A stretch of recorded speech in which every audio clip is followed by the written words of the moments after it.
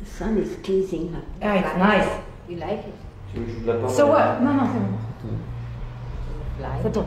Was it usual? Was it usual for a married couple with a child to be in the ashram, and were you or were you spe- um, considered a special case? Was it usual for a married couple and a child to be in an ashram here? No, but we married long before we joined the ashram. And we had the child before we joined the ashram. But we were the first family that mother put together. Um, for each of you, what do you consider your spiritual work, and how was Mother guiding you? What is your spiritual work, each of you, and how was Mother guiding you? Well, let me answer. There's no such thing as spiritual work. It is work. Mother gives you work, you do the work. It's your attitude that is spiritual. The work is not spiritual. You give the work as, a, as, a, as an offering to the divine and you do it with great joy. That is the way of doing the work. But the work itself is not spiritual, it's ordinary work. Whatever work you are doing, you do it with the attitude of an offering. And That mother was- had said that work done in the right attitude is the body's prayer. That is the yoga. That's the yoga, perhaps. And how, how wa- was Mother guiding you in, uh, in your spiritual um, quest? How individually? Who knows?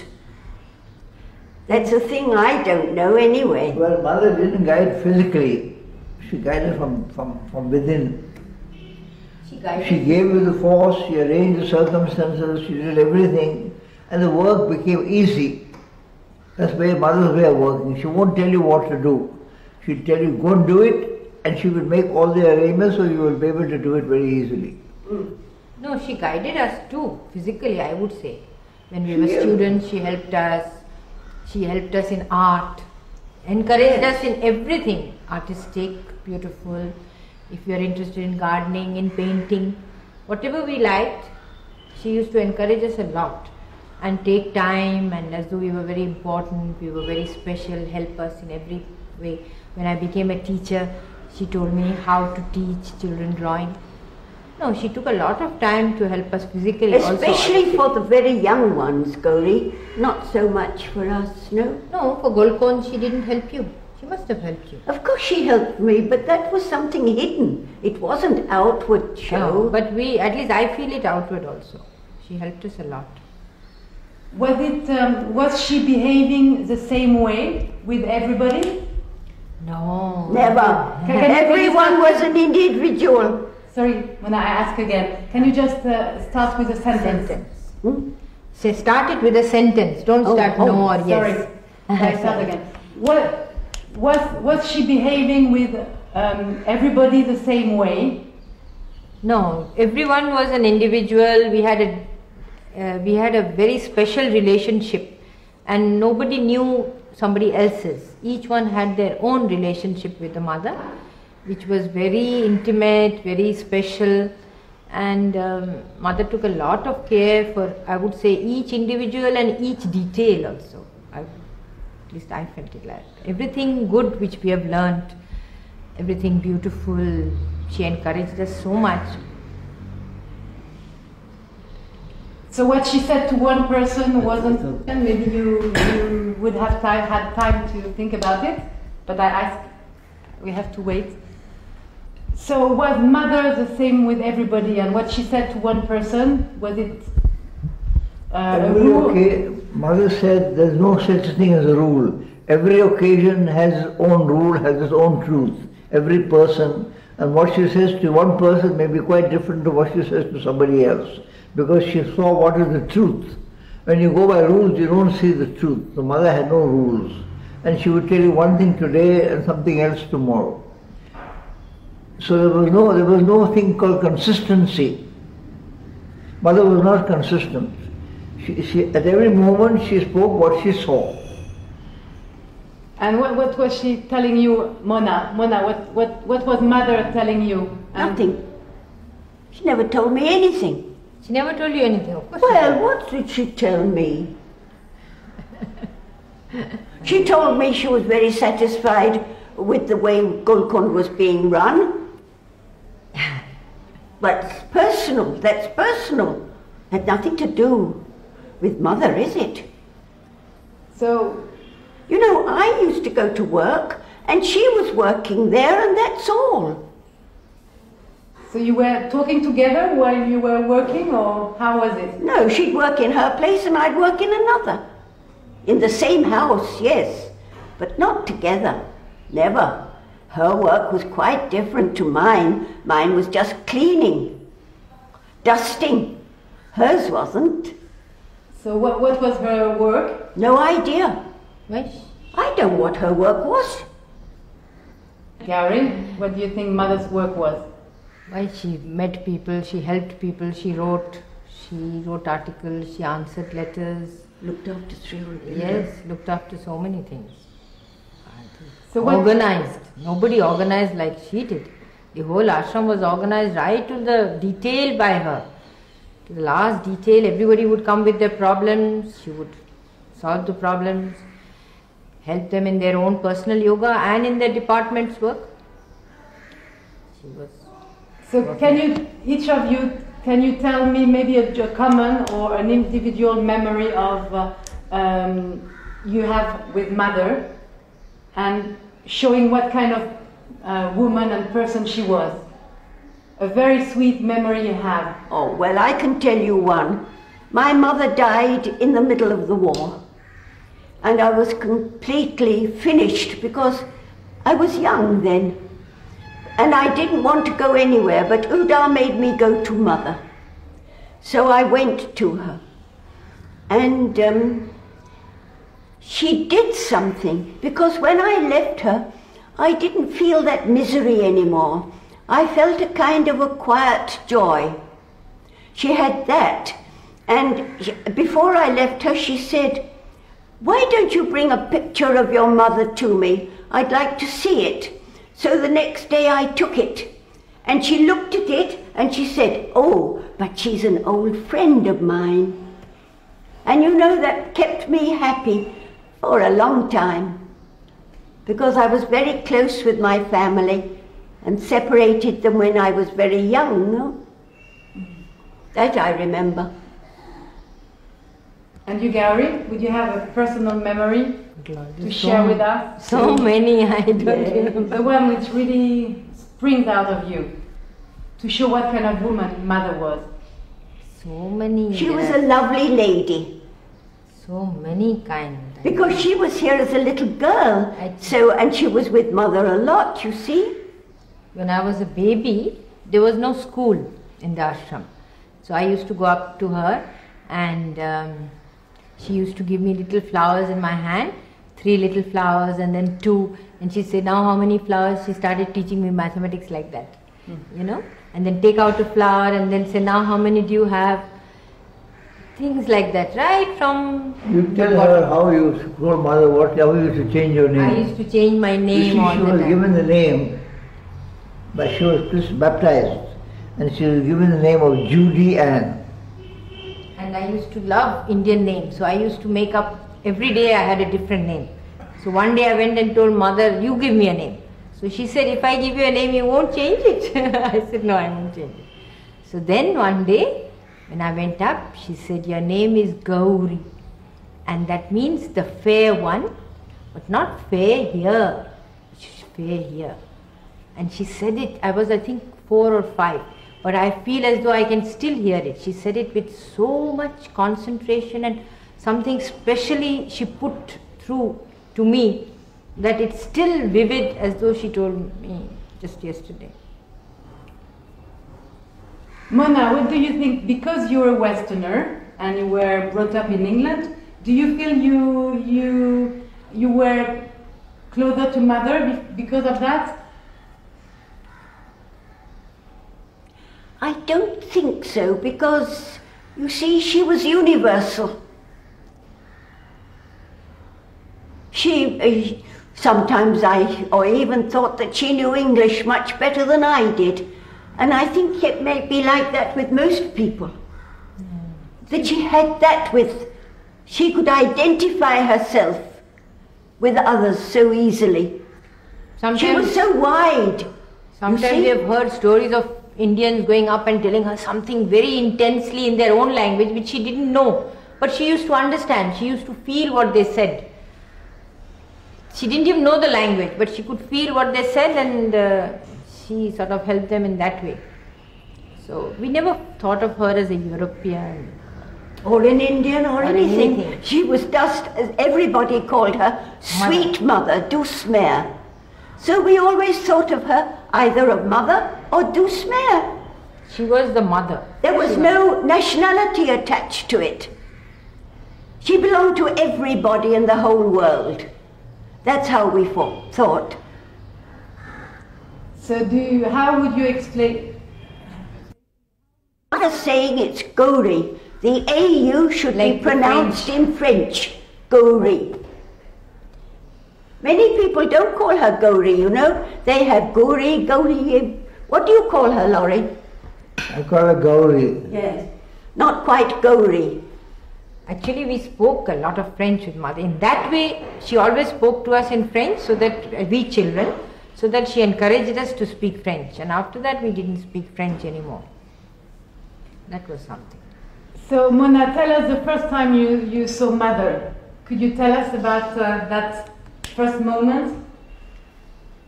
You don't remember? I do remember, but I'm not going to tell. Why? because you know what's important when people explain the first time they, they saw mother, it's very telling. She's, she's Come on, but he would on. he would like to say perhaps because you saw mother and Sri Aurobindo together. No. No? No, saw we mother. saw Mother first. Sri Aurobindo we saw at Darshan time. Oh.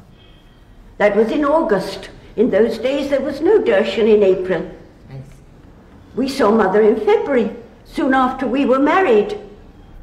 So, can you just tell us a little bit what you Pardon? could you tell us what you felt when you first saw mother? Well, it's not for that machine. No, it's for us. Oh. Sure, only for you. Yeah. She's putting it. I saw Well, you see, I was educated in a convent. And I was used to the Reverend Mother of the convent. So when our friend Amal Sethna arranged for us to go and see Mother, I thought I was going to see a Reverend Mother. Instead of which I saw a lady with a beautiful sari and uh, painted toenails, painted fingernails, so I was rather shocked because my expectations were all ready made, you see. I thought it was a Reverend Mother, the head of a kind of a convent. We weren't living in the ashram then, we were out in our own house. But with, with Udar, it was quite different. Ask him how he felt when he saw Mother. Udar, what did you feel when you first saw mother? I told you my first sight of Sri Aurobindo. I saw him first. Yeah, but when you saw mother I told first. you. Yes. Then I looked at mother and I saw her love. That's the first thing I saw mother, so much of love. That's all I saw. And then other things came later, but the first thing I saw was love. So I went to her, put my head in her lap and she caressed my head. Then I went to Sri Aurobindo and he did. This is the first, my first impression of mother was somebody with, with a lot of love, that's all. And um, did you recognize at that time that she was uh, uh, divine? Mona, what do you think? I've never recognized that because I know nothing about the divine. I'm quite ignorant of the divine, so I couldn't recognize that. So, what did you recognize in mother? I thought she was a lovely lady, very gracious and so knowledgeable, and uh, well, she was nice to know Can you give why was she nice to know? In what? uh, because she was a lovely lady.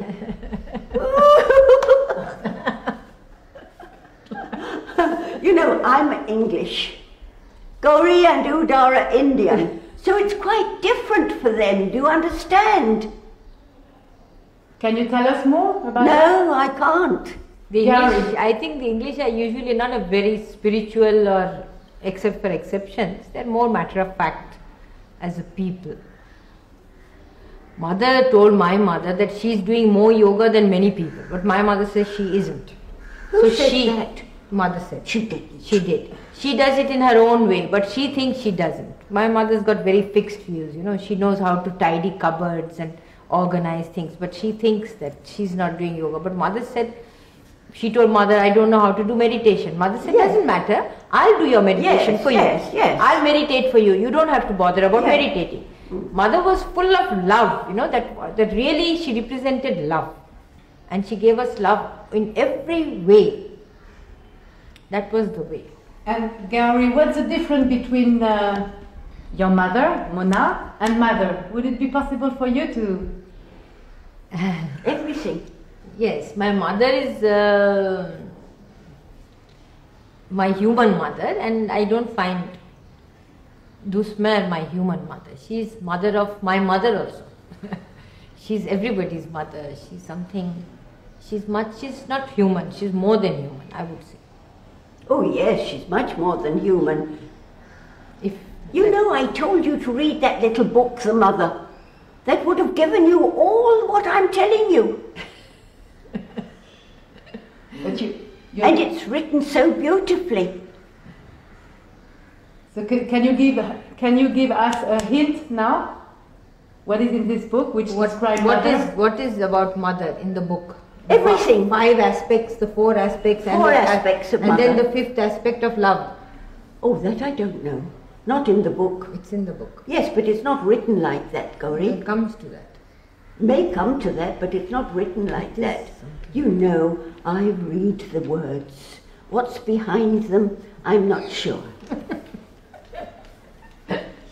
I hope you didn't put all that in. No, she'll cut it out. I ah. Ah. don't. C'est plus que ça Ok, euh, arrête, on va faire. Ok.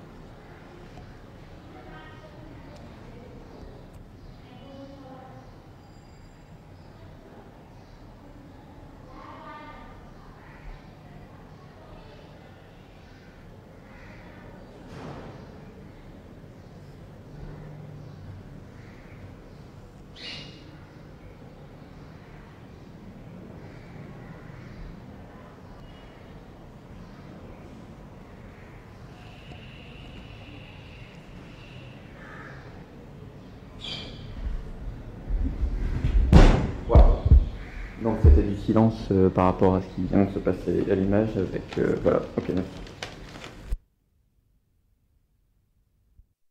But they're still doing something. So, um, can, can, can me tell you, it's when you first came back to England, what was your feeling? Because you had been away from so many years, and you, Gary, you discovered uh, England. Oh, I loved it. I loved it because I met my sisters, no? 31 years. After 31 years. I loved it. 51 years ago. You see, I didn't go to London because my family had moved away. I just, we passed through there, didn't we? Yes. We went mm-hmm. East London, near the docks. Mm-hmm. And my mother had gone, and um, many relations had gone. So mm-hmm. I went. And you, Gary, it was the first time you were discovering your. Yes, first time I went out practically. Mother was very happy for me. She said it's very good for you. Ça va élargir votre conscience. She said it's good for you. We've been living in, you know, protected here in our cocoon, and she was very happy for me to go out and see. And it was a very beautiful experience. We went to Rome, we went to Switzerland, a few, two days everywhere. In those days, wherever the aeroplane stopped, we could spend four days. So we saw a lot. It was lovely in was- those It was in 68. Ah, ça. Non, non, non, non, mais on s'en le mettra Oh. pas dans le. Because it's a real, we didn't move the box. I told you to move it, mom. So, I told you to take it down to Okay. the garage. okay. So, Gary, tell us about um, how mother taught you um, to like flowers. And where are your flowers here? Can you show us? I haven't got many flowers just now because we've had a very bad winter and most of the flowers died in the winter.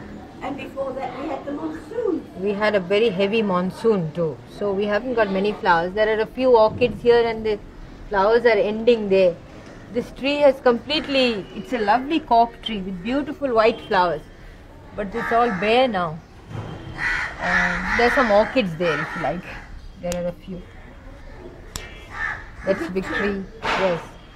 I don't know, mother didn't teach us, we just lived among flowers. She gave us messages through flowers. Every day we'd, we'd, we would go to her and in our hand she'd choose this flower or that flower and that flower and we'd see the meaning and we'd understand what we needed for our own progress, what we had to become aware of. So it was a language of flowers between her and us. And uh, did you receive flowers at other occasions, like at um, Hassad? Birthdays, Can, birthdays. can you tell me when you received flowers from mother? Mother Our birthdays were very special days for us. It was an occult day, and we used to go to mother about five times. In the morning, we'd get a plate of flowers, then we'd get a bouquet of flowers, we'd get roses. We'd, she'd make a very special fuss of us on that day. And uh, we'd be full of flowers, flowers, flowers. And we'd see her before she went for tennis, after she came back for tennis, and she'd see us specially because it was our birthday, and we'd be very special that day. Or if she was passing in the car, sometimes she'd wave in the street and uh, it was very intimate and very very special a birthday was Tu peux arrêter deux? Uh, it's interesting for us to understand how mother uh, introduced Western customs in the ashram. So could you tell us uh, whether she introduced Western, Western customs uh, and maybe use the example of Christmas and tell us a little bit about Christmas. oh, she told us in our class that we we celebrated christmas as the festival of light she said long before the birth of christ this was a very famous festival of light when the light came back on earth Yes. and for that it was celebrated long long ago and we celebrated it for that very reason as a festival of light So how was it, Mona? And how, was it similar to Christmas in England? Can you tell us? No. Uh, Christmas in England is an absolute family affair.